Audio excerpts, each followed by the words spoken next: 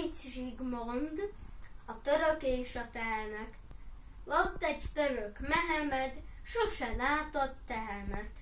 Nem is tudta Mehemed, milyenek a tehenek. Ö, egyszer aztán Mehemed lát egy csomó tehenet. Csodálkozik Mehemed, ilyenek a tehenek. Én vagyok a Mehemed, mi vagyunk a tehenek.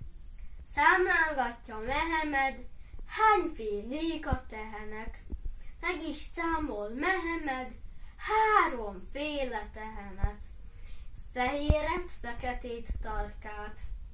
Mert ne fogd a tehén farkát, nem tudta ezt Mehemed, s felrúgták a.